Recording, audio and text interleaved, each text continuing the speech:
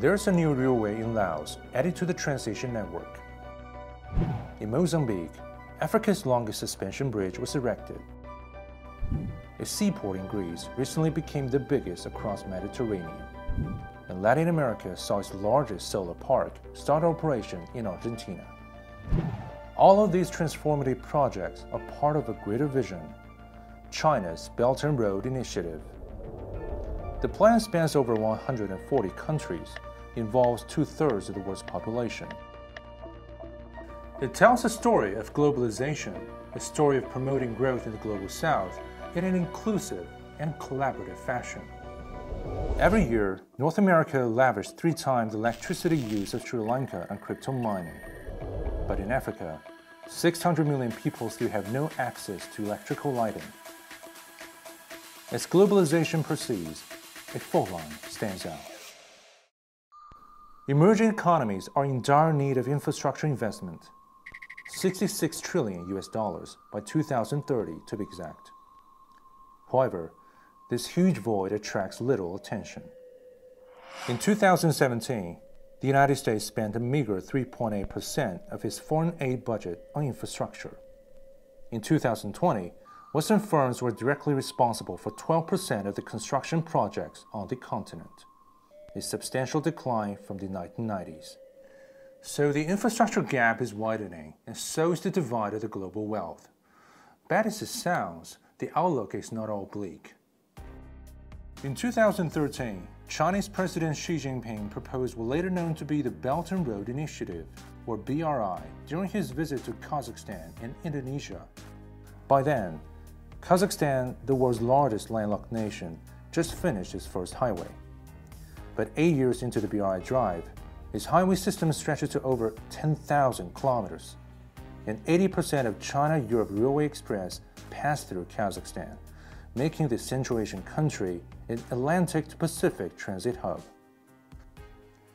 The place where BRI made its debut offers a glimpse of how this plan unties the Gordian knot in developing countries. It is a patient investing, and one that induces changes. In Kenya, BRI helped fund its first standard gauge railway since the country's independence, trailblazing an expansive trans-African transport network. In Pakistan, BRI investment raised the country's electricity capacity by 60% in three years, making regular 10-hour power outage history. And according to British sociologist Martin Albrow, the demand for these initiatives arises also out of the felt needs of the people in their local environments with their distinct cultural heritages. By 2020, the value of the Belt and Road projects reached 4.3 trillion US dollars, this ambitious collaborative plan is set to help reorient the developing countries in the global division of labor. But this is not a change that pleases everyone.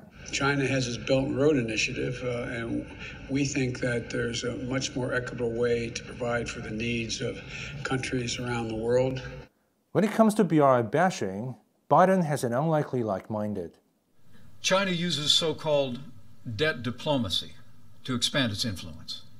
Just ask Sri Lanka, which took on a massive debt to let Chinese state companies build a port of questionable commercial value.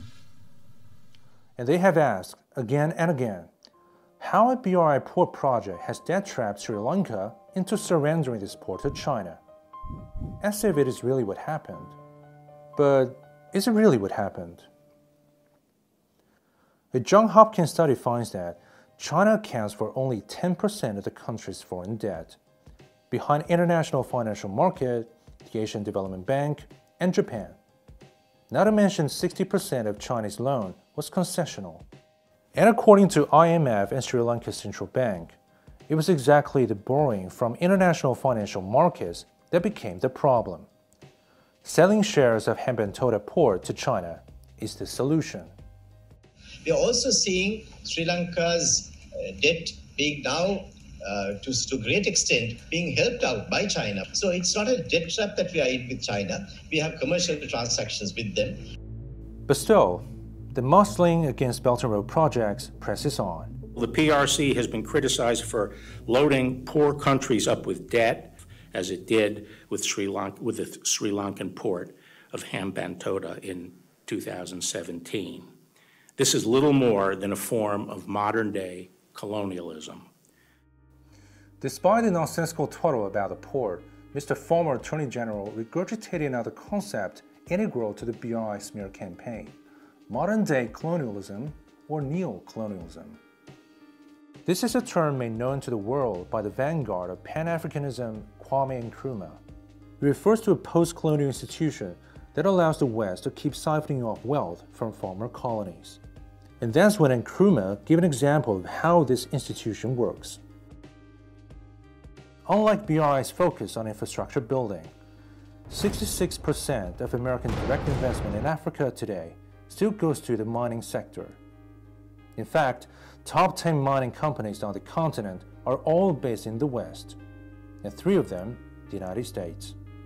Mostly through these extractive industries, over 50 billion US dollars illegally flow from the poorest continent to the richest nations every year.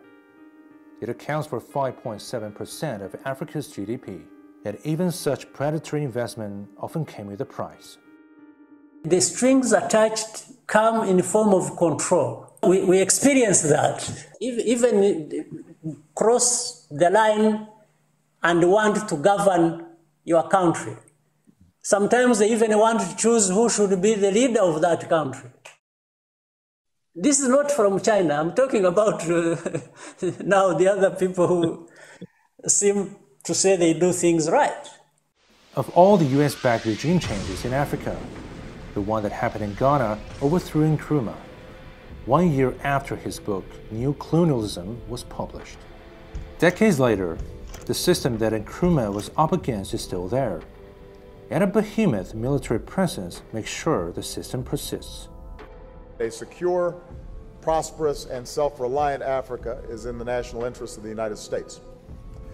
The West tends to project its own colonial mentality onto China, but obviously, BRI has taken a different path.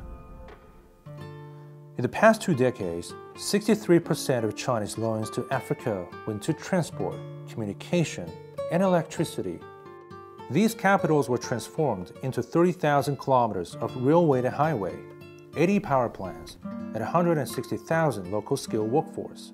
Our partnership with China is not a partnership based on China telling us what we need. It is a partnership of friends working together to meet Kenya's social economic agenda. Perhaps that is why some people feel threatened by the BRI. Because this partnership offers a new paradigm that breaks free with the new colonialist yoke and a vicious cycle of underdevelopment. Of the 500 billion US dollars worth of annual industrial production in Africa, Chinese ventures helped contribute 12%. This is an industrialization long overdue, and it is happening all across the developing world. And BRI is not a one-way street.